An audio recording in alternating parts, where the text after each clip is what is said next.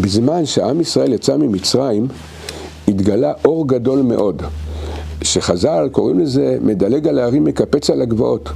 ועם ישראל, מגודל הגילוי שכינה שהיה במצרים, בזמן יציאת מצרים, היה, רצו אחרי עמוד האש ועמוד הענן למדבר, מרוב אהבת השם, מרוב ההערה העצומה שהתגלתה בליבותם, הם רדפו אחרי השכינה, והשכינה הייתה, הערת השכינה הייתה בעמוד האש ובעמוד הענן.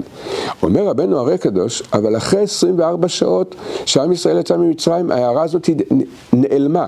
נשאר רשימו וזיכרון מההערה הזאת, אבל ההערה הזאת אה, נעלמה. ובשעה שהיא נעלמה ההערה הזאת, המלחמה הנפשית והרוחנית חזרה לעם ישראל, וזה הימים שנקראים ימי העומר. מסביר רבנו אריה קדוש, למה ההערה הזאת התגלתה?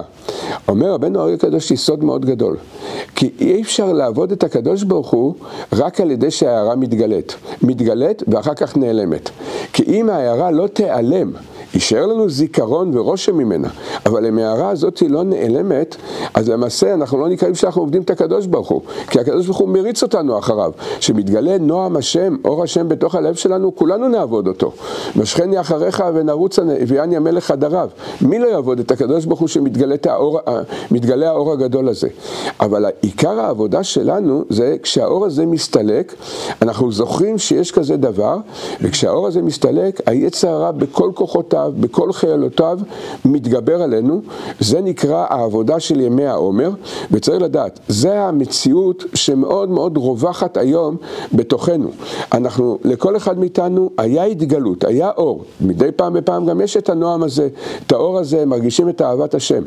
אבל צריך לדעת, עיקר העבודה שלנו לקדוש ברוך הוא, התשובה והתיקון והמסירות נפש, זה כאשר זה נעלם ואנחנו לא מתייאשים ולא לא עוזבים את הקדוש ברוך הוא, אלא ממשיכים להילחם ולהחזיק מעמד עד שיתגלה האור עוד פעם.